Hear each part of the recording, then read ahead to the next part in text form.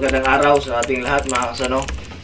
So, for today's video, uh, isi-share ko sa inyo kung paano ako nakapasok dito sa inland shipping. Ito yung kadalasan na tanong sa akin kung paano daw ako nag-apply, paano ako nakapasok dito sa inland shipping, ano daw ang ginawa ko. Isi-share ko sa inyo kung anong kalakaran sa pag-apply ko sa Lotus, tapos yung processing sa Axas Marine dyan sa Lotus. Matagal, matagal ako nakapasok dyan sa Lotus. Kaya isishare ko sa inyo kung bakit ako umabot ng walong buwan sa paghihintay bago ako nakasampa ng barko. Nung on board pa ako last year, uh, November 11, so November 11, nag-send ako ng uh, email, uh, aking application application form, CB, sa email address nila sa one, yung lsi at lotoshipmanagement.com. Habang nasa barko ako, naghihintay ako ng reply. Walang reply hanggang sa nakababa na ako ng barko. So, January 25, lumipad ako ng Manila. Pagka January 26, uh, pinapalo up ko yung uh, ah, CV ko, so application form ko. So, pumunta ako ng Lotus, January 26. Tapos, so, nung tinawag na ako sa front desk, So, uh, tinanong ako kung uh, nakapag-send na ba daw ako ng CV. So, sabi ko kako, ma'am, tapos na po ako nag nag-send sa dong November 20 uh, November 11 pa last year, sabi ko. So, sabi niya, hindi na yun siguro mahanap sir kasi maraming nag-a-apply, natatambakan na yun. Kaya, um, mag-send ka uli. So, ng application form. So, ngayon, nag-send ako application form in inulit ko ulit tapos inulit ulit send ulit. So ngayon nakita na yung yung yung message ko yun sa email. Ngayon pinasa ako kay uh, Sir Dong yung uh, uh, crew manager ng Lotus Access Marine. So nag-usap kami ni Sir Dong sabi niya uh, uh, may mga tanong siya kung ilang years na ba ako nag uh, nagsakay ng barko. Uh, ilang taon na ba ako? 35 years old, sabi ko. Uh, uh, 12 years na ako nagbabarko, sabi ganoon. So, anong klaseng barko ang uh, experience mo? Sabi ko, bulk, ay ganoon. Ngayon, sabi niya, okay, uh, dito sa Lotus, lahat na nag-apply dito, uh, naka-lista yan. So, step by step tayo, sabi niya. So, pilahan tayo dito, sabi ni Sir Dong sa akin. Binigyan niya ako ng, ng schedule kung sa aking interview. January ako nag-apply, binigyan ako ng schedule June 28. So, January, February, March, April, May, June. So, 5 months ang hihintayin ko bago ako ma-interview sa kanya. So, habang naghihintay sa kanya, yun nga, kasi nga, eh, uh, Lotus man talaga ang punto ko. Talagang yun, yun talaga gusto ko eh, yung nasa inland lang, inland shipping lang. Kasi gusto ko din masubukan kasi sabi nga ng karamihan, maganda raw dito. So, yun. So, habang naghihintay ako sa Lotus, tambay-tambay ako doon sa uh, Kalaw. So, nakita ko yung magsaysay na ng Sikor.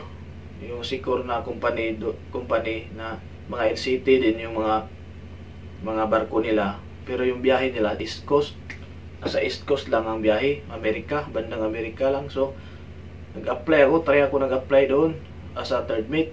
So, sabi ng rowing manager ko doon sa Magsaysay, walang third mate dito, second mate. So, so i-propose kita sa second mate ko ma-approvean, hindi mas okay, sabi niya kako. So, ganun. Habang nag naghihintay ako, nagpa-process na naman ako doon sa magsaysay. Si, magsaysay, di siyempre, ganun naman talaga yung seaman eh. Kahit saan naman kung saan mauna, di ba? So ngayon, pina-training niya, nila ako doon, kinuhaan ako ng US visa. So habang habang nagti-training ako doon sa magsaysay, so dumating na yung pitsa na na interview ko June 28. So June 28 yun ang last day ko sa training ko. Kasi pina-training ako ng kwan eh, passage planning with ICDES. Tapos yung ano yun, yung yung Colreg.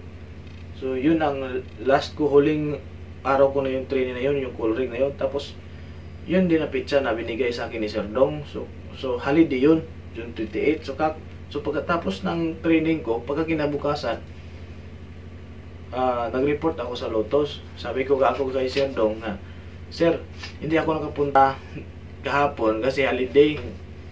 Yun ang sabi ko sa kanya.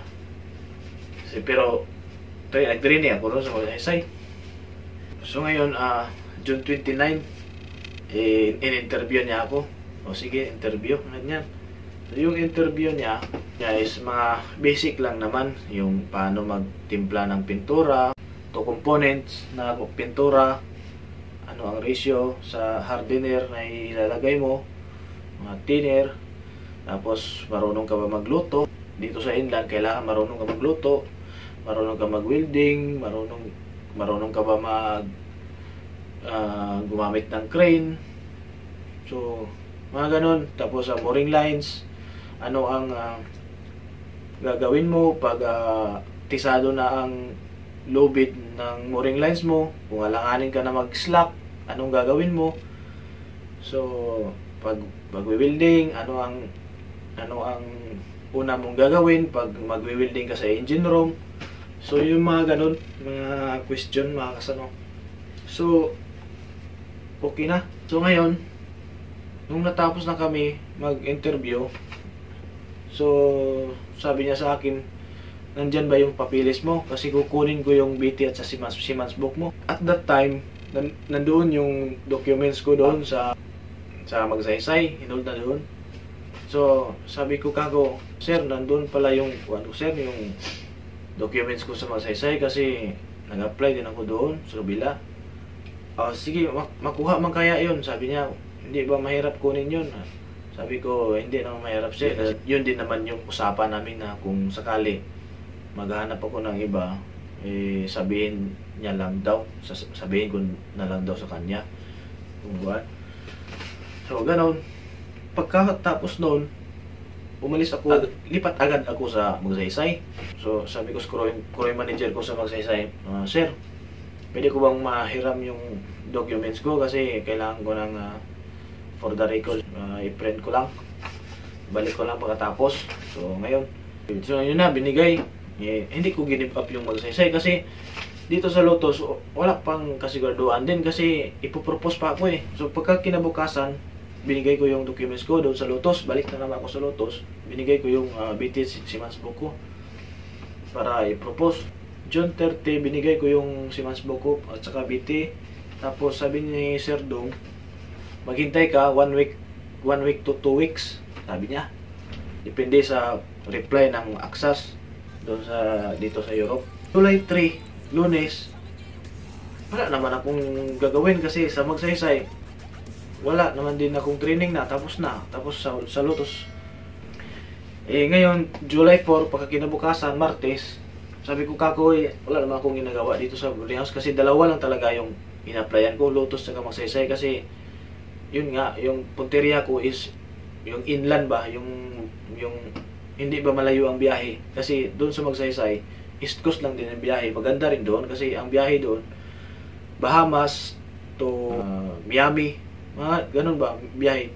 Pa lag- lagari lang. Miami, Bahamas, tapos uh, minsan mag Mexico, to Tampa, Florida. Mga ganun ang biyahe doon. East Coast lang. So maganda rin. Kaya doon tapos kung ma-approve, kung ma-approve ako doon, di second meet ako doon. Eh, kung hindi ma-approve, AB ako doon, at least parang natupad na rin yung pangarap ko na maging inland vessel kasi kung maging mag, kung makapasok ako doon sa Magsaysay kasi East Coast yun eh.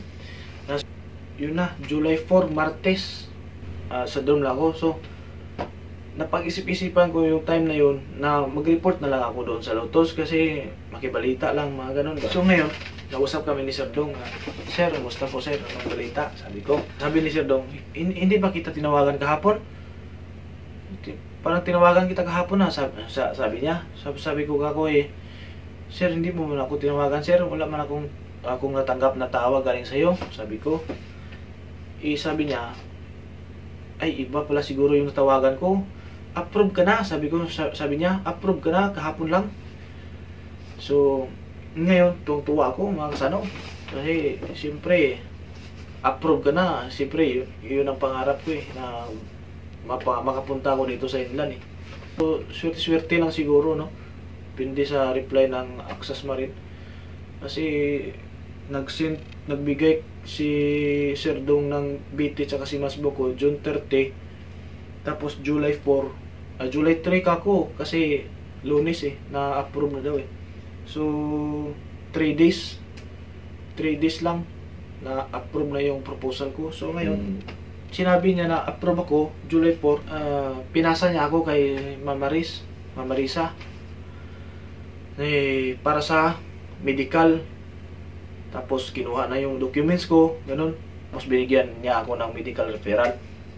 So ang medical pala mga kasunod sa Maika. Maika or Mika uh, clinic. So yun na. So July 6 nag medical ako. Tapos July 7 na-clear ako sa medical so isisent lang na Maika papuntang Lotus yung med- med- medical mo. So ngayon July 10 uh, nag-report ako. Na tapos yun na sign contract tapos doon sa accounting mga mga requirements sa accounting account number ng pag-ibig PhilHealth SS mga 10 number. Yun. Di ba? Mga kuha natin doon mga allotment binigay na uh, binigay ko na isinesend ko na sa email. So ngayon pagkatapos noon hintay na naman para, para sa visa. July 11 to 28 report report lang ako para follow up. So ngayon hanggang sa tumawag si si Sir Marcos Clay na yung tagakuha ng visa. So tumawag na mag-report ka bukas uh, one, uh, July 29 July 29 mag-report ka bukas kasi uh, briefing for uh, Germany visa. So ngayon, Germany visa, July 31, yun ang schedule na appearance. So pagkatapos ng ng appearance, maghintay ka pa ng 10 to 15 days working. So, yun na yun. Pag ma-approve ka na, automatic na yun na bigyan ka ng ticket, pa-flight papunta rito sa inland para magsimula ka na sa career mo uh, sa being uh, inland boys inland boy ka na. So, ngayon mga sa 2023, paalam ako na uuwi muna akong probinsya para doon na lang ako maghintay sa ticket ko para flight. So, ngayon, habang nasa bakasyon ako, habang nasa bahay ako, nag-message si Mama Marisa sa akin na September 5, nag-message siya ng ticket. Tapos ginawa niya kami ng uh, group chat, yung mga papasampa na ng September 17. Sabi niya, luwas ka ng Manila September 14 for dispatching. So, yun na. September 14, dapat nandun ako sa Manila. So, September 17, flight na namin papunta dito sa Europe. Yun na. So, pag uh, dating namin dito, September 18, so, pension house. Pension house muna tayo dito. Sa kami, sa dito kami sa pension house, pension house Williamstad. So, depende yan kung saan ka ilalagay na pension house kasi sa pagkakalam ko tatlo or apat na pension house daw dito sa sa na Netherlands yung Axas. So September so September 18 to 25 nasa pension house ako naghihintay ng barko. So habang wala ka pang barko yan ibibigay sa agent mo. Sa pension house ka pa mag uh, standby dyan.